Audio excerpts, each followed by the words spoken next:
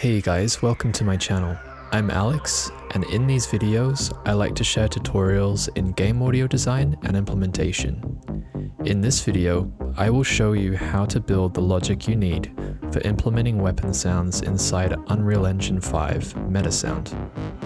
This video is a continuation of my previous video, which is about how I designed sci-fi weapon firing sounds using Phaseplant.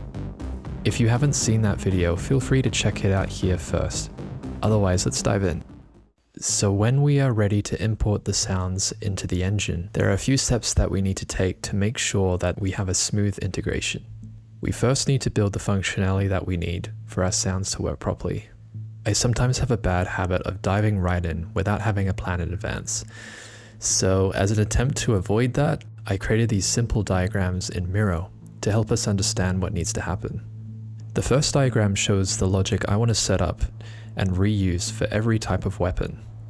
The idea is to have an easy way to combine these separate layers together inside the engine. I can then access each layer individually later on to add random volume and pitch variation.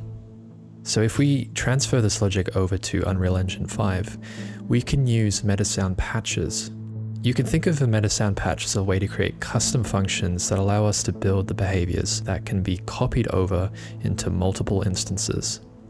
This means I can reuse this logic whenever I want to with different kinds of weapons in game. Once this base patch is created, I can then use this by dragging in the samples that I've exported and exposing inputs such as the pitch and the volume parameters. Once this one-shot metasound is all set up, I can then inherit this over to um, different functions for full auto and semi-auto. For both of these, I, I want to create a trigger sequence, and that just means it will play one of these at a time instead of repeating this same instance. For the full auto sequence, I'll have a trigger repeat, and every time it repeats, I'm going to create a new pitch and volume float that will change all of these sounds in the one shot metasound. In the semi-auto sequence, I'll do the same thing, but instead of using a trigger repeat, I'm going to set up a custom input trigger that will trigger the sequence as well as these variables. Cool, so let's move these over to different meta sounds. Okay, so here's the patch for creating all of the layers. And all I'm doing here is exposing different inputs that I can use later on. And if I play this now, nothing happens because I haven't actually specified what sounds these are playing because I'm going to be doing that for the next meta sound. So this meta sound is for the one-shot logic, and I just dragged in the samples that I exported from Reaper, and these are all of the available inputs that I showed you just before.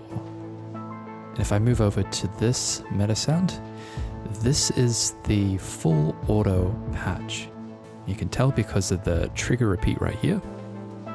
That's going through all of these patches that have been inherited from the previous Metasound. And all I did is just copy paste these four times. And every time the trigger repeats, I'm creating the random floats that I mentioned in the diagram. When you create the random float, you can set it as a variable and then feed it into all of these patches. This is how I make um, a different, a slightly different sound every time this is played. You can actually see this if I, when I activate on play, all of these create a random float. And when I fire, that float changes to something new. Not subtle, it'll be way more repetitive if it's removed. Let's check this out.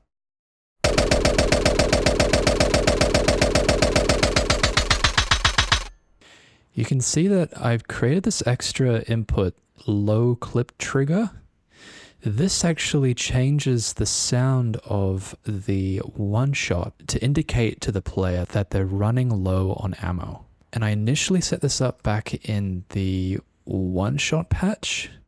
You see this is a low clip float. And while this moves up, it's changing the pitch of the transient layers and the volume of the low tone. Let's hear this again.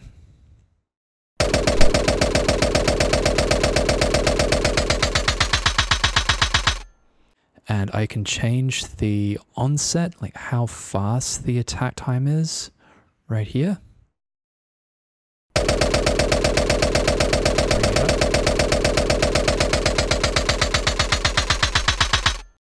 Or I can make it much faster. The cool thing about this is that it's easily customizable inside of the meta sound without having to change anything back in Reaper and then re-exporting. You can do everything straight in the engine. Here's a similar example, but for the semi-auto patch. So I don't have anything for the on play because the trigger sequence only works while on play is activated. So it created a custom input which tells the meta sound that you have fired a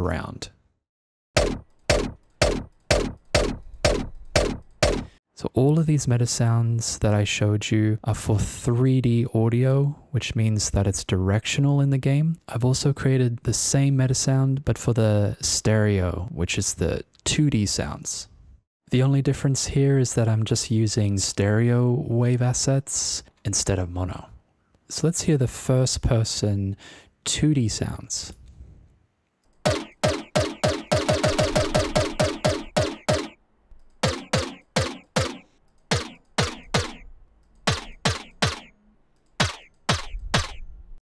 So now that I have all the functionality set up, I can actually drag in other layers that I want for maybe different types of weapons.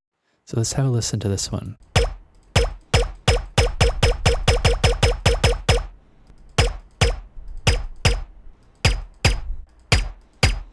The meta sounds are exactly the same, but when I open this up, I've just dragged in different assets inside the one-shot meta sound. So if you stuck around this far, I just want to say thank you so much for watching. And if you haven't already, please like and subscribe as that will help out a lot. Also, feel free to let me know if there's anything else you'd like me to cover in future videos.